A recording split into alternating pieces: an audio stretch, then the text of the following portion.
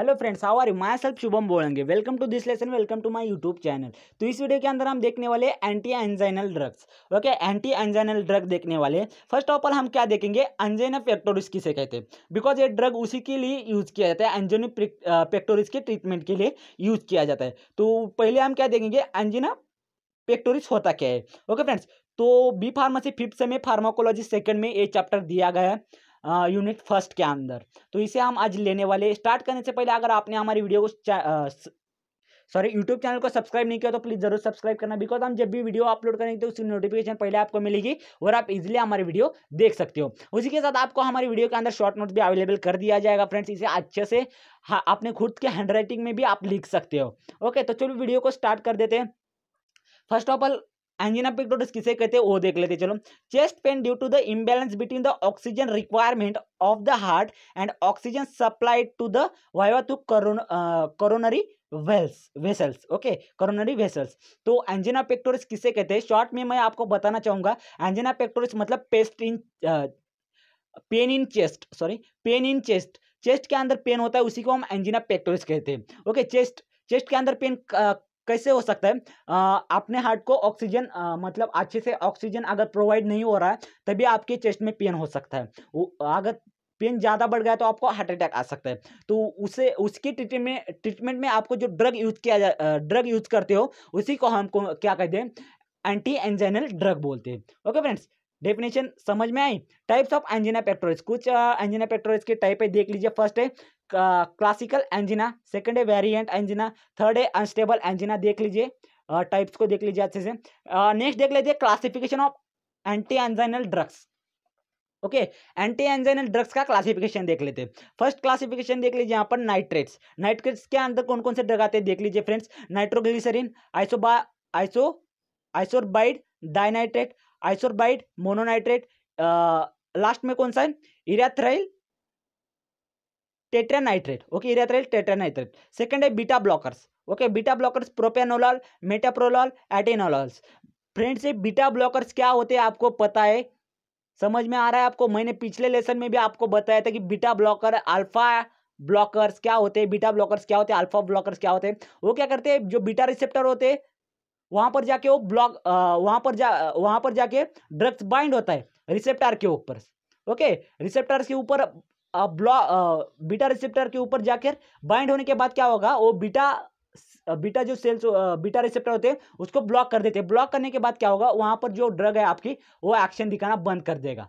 Okay वहाँ से आपको ट्रीटमेंट अच्छी मिल सकती है। बीटा ब्लॉकर वहाँ पर ब्लॉक हो जाएगा। ये फ्रेंड्स, बीटा ब्लॉकर के अंदर, अल्फ़ा ब्लॉकर के अंदर, इसे एक बार आपको समझ में आया ना, इसे अच्छे से समझ लो। बाद में आपको सिर्फ़ ड्रग ही याद करना है। Next, third, calcium channel blockers. ये भी मैंने आपको बताया, कैल्शियम चैनल ब्लॉकर्स होते कैसे वो जो extracellular fluid intracellular fluids extracellular से इंट्रा सेल्यूलर के अंदर आते हैं।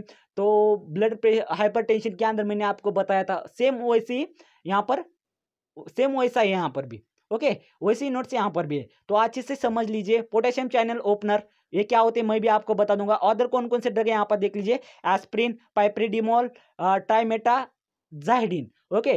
तो हार्ड वर्क करने से बेहतर है फ्रेंड्स आप स्मार्ट वर्क पर ज़्यादा फोकस करो। समा, जितना आप स्मार्ट वर्क करोगे, इसे जितना इजीली समझ सकते हो, उतना इजीली समझने की कोशिश करो। हार्ड वर्क तो गधा भी करता है स्मार्ट वर्क घोड़े करते हैं। आपको पता होना चाहिए स्मार्ट वर्क करना बेहतर अच्छा है। ओके? मैं बता रहा हूँ आपको स्मार्ट वर्क करते रहो। ओके? okay, अगर समझ लो ग, एक गधे की टीम है फ्रेंड्स उसके उस एक घोड़े को गधे के अंदर डाल दिया जाए ओके? okay, तो क्या होगा? वो घोड़ा भी गधा बन जाएगा। समझ में आ रहा है? घोड़ा भी गधा बन जाएगा। और यहाँ पर देख लीजिए एक घोड़े का ग्रुप है हॉर्स का ग्रुप है उसके अंदर आप हम अगर गधे को डाल दें तो गधा क्या होगा? हॉर्स जैसा बन जाएगा। घोड़े जैसा भी गधा बन सकता है। तो वो मेरा कहने का मतलब सिर्फ़ इतना है हार्ड वर्क मत करा करो स्मार्ट वर्क पर आप ज़्यादा फोकस करो। ओके जितना इजी तरीके से समझ सकते हो, उतना इजी तरीके से इसको समझने की कोशिश करो। ओके फ़र्स्ट देख लेते हैं नाइट्रेट्स नाइट्रेट्स फ़र्स्ट क्लासिफिकेशन है हमारा। उसके अंदर हम देख लीजिए मोड ऑफ़ एक्शन उसकी मोड ऑफ़ एक्शन देख लेते, चलो। नाइट्रेट्स नाइट्रेट्स क्या करता है? Denitrated in the smooth muscle of cell okay, release night, nitric oxide nitric oxide release करता है। नाइट्रिक ऑक्साइड रिलीज़ करने के बाद क्या होगा? जीएमपी पाथवे आपको पता होगा। जीएमपी पाथवे वहाँ पर इंक्रीज हो जाएगा। जीएमपी पाथवे इंक्रीज होने के बाद क्या होगा? मायोसिन लाइट चेन जो मायोसिन लाइट चेन है friends okay myosin light chain वहाँ पर रिलैक्सेशन होगा। रिलैक्सेशन किस मायोसिन लाइट चेन वहाँ पर एक्टिव होगा।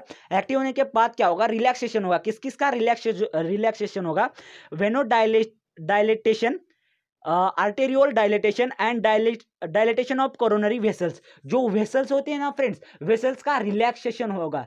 अगर समझ लो आप अगर आपकी जो वेसल्स है वेसल्स कॉन्ट्रैक्ट हो जाएँगे। कॉन्ट्रैक्ट होने के बाद क्या होगा? आपका आपके बॉडी को ब्लड अच्छे से सप्लाई नहीं हो, हो पाएगा।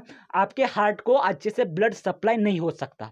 कॉन्ट्रैक्ट होने के बाद, अगर रिलैक्स हो जाएँगे सभी आपके हार्ट के जो मसल्स हैं, रिलैक्स हो जाएँगे। रिलैक्स होने के बाद आपकी जो बॉडी को मतलब हार्ट को ब्लड होगा, ब्लड अच्छे से सप्लाई हो सकता है। तो इसके अंदर यही बताने का बताया गया है। Nitrates release nitric nitric oxide release कर देगा स्मूथ मसल के अंदर, ओके? स्मूथ मसल के अंदर नाइट्रिक ऑक्साइड रिलीज़ कर देगा। उससे क्या होगा, आपके जीएमपी पाते आपको पता होगा वो जीएमपी इंक्रीज हो जाएगा। जीएमपी इंक्रीज होने के बाद क्या होगा रिलैक्सेशन होगा। किस किस का वेनोडाइलेटेशन आर्टी वेन आर्टरी जो होते हैं वेन का, यहाँ पर रिलैक्सेशन हो जाएगा। तो मोड ऑफ़ एक्शन के अंदर इतना ही दिया गया, अच्छे से नोट्स बना लो इजी नोट्स से ओके? मैं फिर भी आपको अच्छे से कह रहा हूँ, स्मार्ट वर्क पर आप ज़्यादा फोकस करो, हार्ड वर्क मत करा करो।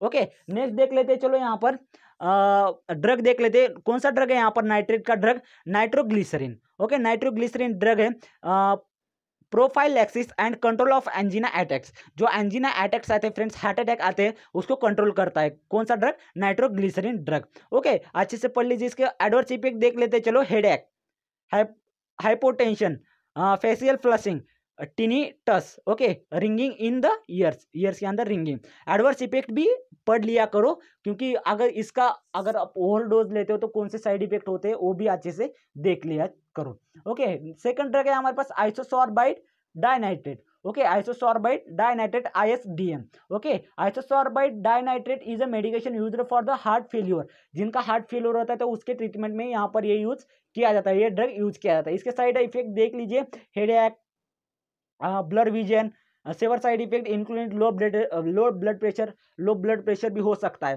तो अच्छे से नोट्स बना लीजिए, बहुत ही अच्छे नोट्स है फ्रेंड्स बार बार नहीं बताऊँगा, लेकिन बहुत अच्छा नोट्स है।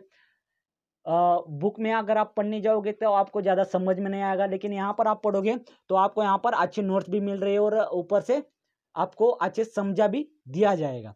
ओके थर्ड यहाँ पर है हमारा थर्ड यहाँ पर ड्रग है हमारे पास isosorbide mononitrate okay? Isosorbide mononitrate use for the heart heart release chest pain. अगर चेस्ट पेन हो रहा है, आपको हार्ट के अंदर चेस्ट पेन हो रहा है तो चेस्ट पेन के लिए ये ड्रग यूज़ किया जाता है।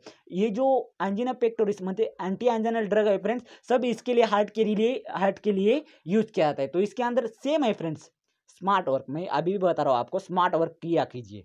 इसके अंदर सेम है, किसके लिए यूज़ किया जाता है ड्रग? चेस्ट पेन ट्रीटमेंट के लिए ये ड्रग यूज़ किया जाता है। इसके side effect headache low blood pressure blurry vision skin flushing ये सब इसके साइड इफ़ेक्ट है। Beta blockers beta blockers beta blockers होते क्या है? तो मैंने आपको पहले ही बताया कि बीटा ब्लॉकर्स क्या होते हैं। तो ये क्या होते हैं? जो रिसेप्टर होते हैं फ्रेंड्स बीटा रिसेप्टर तो ये ड्रग क्या करेगा? वो ये ड्रग जाकर ओके एंटी ड्रग जाकर उस बीटा रिसेप्टर से बाइंड होगा। ओके बीटा रिसेप्टर ये देख लीजिए बीटा रिसेप्टर है ये ड्रग आया यहाँ पर ये बीटा रिसेप्टर से बाइंड हो, हो होगा।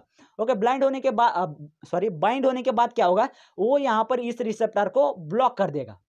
ओके ब्लॉक करने के बाद क्या होगा जो ब्लॉक कर देगा ये पूरे पूरी तरह से बीटा रिसेप्टर को ब्लॉक कर देगा। बीटा रिसेप्टर को ब्लॉक करने के बाद क्या होगा आपकी जो चेस्ट को ब्लड ब्लड अच्छे से सप्लाई हो सकता है।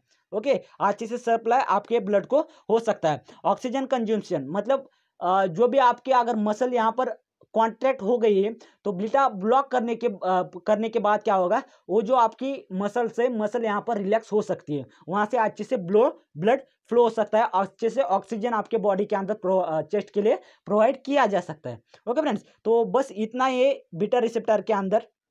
उसके अंदर कौन कौन से ड्रग है? Propranolol it is use to treat high blood pressure high blood pressure के ट्रीटमेंट के लिए heart rate okay heart rate irregular heart rate हो रहा है तो उसके अंदर यूज़ किया जाता है अनएक्साइटी के लिए भी यूज़ किया जाता है। सेकंड ड्रग है हमारे पास मीटोप्रोलाल फ्रेंड्स अच्छी नोट्स है खुद आप, अपने हाथों से नोट्स बना लीजिए। साइड इफ़ेक्ट भी यहाँ पर दिए गए तो साइड इफ़ेक्ट भी देख लीजिए। थर्ड ड्रग है atenolol atenolol okay side effect क्या है एटेनोलॉल का? Cardiac failure bradycardia dizziness fatigue और कोल्ड एक्सट्रीमिटी ओके तो ये हो गया एटिनॉल के बारे में। नेक्स्ट है calcium channel blockers calcium channel blockers तो इसका मोड ऑफ़ एक्शन देख लेते हैं फ्रेंड्स कैल्शियम चैनल ब्लॉकर्स का। मैं आपको सिर्फ़ मोड ऑफ़ एक्शन बता देता हूँ। बता देता हूँ कि मोड ऑफ़ एक्शन होता कैसे ओके बाद में आप ड्रग का जो यूजेस है शॉर्ट नोट्स है वो आप खुद ही बना लीजिए बना आ, बना लीजिए। बिकॉज़ हमने शॉर्ट नोट्स आपको अवेलेबल कर दिया इजी नोट से वो हमने आपको अवेलेबल कर दिया गया। तो यहाँ पर देख लीजिए calcium channel blockers okay calcium channel blockers calcium channel blocker देख लीजिए, यहाँ पर मोड ऑफ़ एक्शन देख लीजिए। Block voltage sensitivity L type C A two plus channel तो ये क्या कर देगा? ब्लॉक कर देगा। किसको? ये calcium channel channel, calcium ion है फ्रेंड्स। कैल्शियम आयन्स को यहाँ पर ये ब्लॉक कर देगा। Prevent entry of calcium into the cell तो सेल के अंदर मैं आपको बता देता हूँ। समझ लीजिए, ये हमारा सेल है। ओके, यहाँ पर एक्स्ट्रा सेल्यूलर फ्लूड है। एक्स्ट्रा सेल्यूलर फ्लूड है और इसके अंदर क्या है? इंट्रा सेल्यूलर फ्लूड है। तो या, ये क्या कर देगा? जो एक्स्ट्रा सेल्यूलर फ्लूड जो intracellular fluid intracellular extracellular fluid जो है, वो इंट्रा सेल्यूलर फ्लूड के अंदर आ जाएगा। ओके? ई सी एफ़ से आईसीएफ आ जाएगा। ओके एक्स्ट्रा सेल्यूलर फ्लूड अगर इंट्रा सेल्यूलर फ्लूड के अंदर आ जाएगा तो वहाँ पर आपको प्रॉब्लम आ सकती है। हार्ट को अच्छे से ज़्यादा अगर कैल्शियम चैनल अगर हमारे बॉडी के अंदर सेल के अंदर ज़्यादा हो गए तो वहाँ पर हमको चेस्ट पेन होना स्टार्ट हो जाएगा। लेकिन हम यहाँ पर इसी को ब्लॉक कर दे, ओके? अगर हमारा जो कैल्शियम चैनल्स है फ्रेंड्स एक्स्ट्रा सेल्यूलर से इंट्रा सेल्यूलर में नहीं आएगा, वहाँ पर ही हम इसको ब्लॉक कर दे तो यहाँ पर हमको चेस्ट पेन नहीं हो सकता। तो ये, इसके ये बारे में ये दिया गया है फ्रेंड्स ओके? इसे अच्छे से पढ़ लो आप। इसके अंदर कौन कौन से ड्रग यूज़ किया जाता है? Verapamil verapamil okay verapamil drug use किया जाता है इसके अंदर। नेक्स्ट ड्रग है सेकंड ड्रग है nifedipine okay nifedipine drug use किया जाता है। अच्छे नोट्स से फ्रेंड्स अच्छे नोट्स बना लीजिए यहाँ पर। Potassium channel openers okay potassium channel openers कौन सा यहाँ पर? कौन सा ड्रग है यहाँ पर? Nico randi nicorandil okay sorry nicorandil यहाँ पर ड्रग्स है। ये क्या करते है? Open ATP dependent potassium channel जो भी पोटेशियम चैनल है, उसको ओपन कर देता है। Potassium influx hypo sorry hyperpolarization of membrane venodilation arteriolar dilation ये क्या करता है? पोटेशियम चैनल वेन वेनोडाइलेशन मतलब जो वेन्स या आर्टरी होती है, उनका डायलेशन करता है। मतलब उनके जो ल्यूमन है ल्यूमन के साइज़ बढ़ा देता है। Okay potassium channel openers okay इसी से क्या होगा? डिक्रीज आफ्टर लोड तो वहाँ पर लोड डिक्रीज हो जाएगा। ओके लोड डिक्रीज हो जाएगा मतलब अगर चेस्ट के ऊपर ज़्यादा पेन हो रहा है तो पेन यहाँ पर कम हो सकता है वेसल के डायलेशन से और आर्टरी के डायलेशन से। इसी को पोटेशियम चैनल ओपनर्स कहते हैं। ओके फ्रेंड्स इसका फार्माकोकाइनेटिक्स पढ़ लीजिए एडवर्स इफ़ेक्ट मैं आपको बता देता हूँ। Headache flushing palpitation ankle oedema leg cramp dizziness ये सब इसके साइड एडवर्स इफ़ेक्ट है साइड इफेक्ट्स है। आई फ्रेंड्स आप सभी को वीडियो पसंद आया होगा। अगर वीडियो के अंदर कोई डाउट या प्रॉब्लम हो तो हमें कमेंट बॉक्स में ज़रूर बताना। तो मिलते हैं नेक्स्ट वीडियो में नेक्स्ट इंटरेस्टिंग टॉपिक के साथ। फ़िलहाल इस वीडियो के अंदर इतना ही। Thank you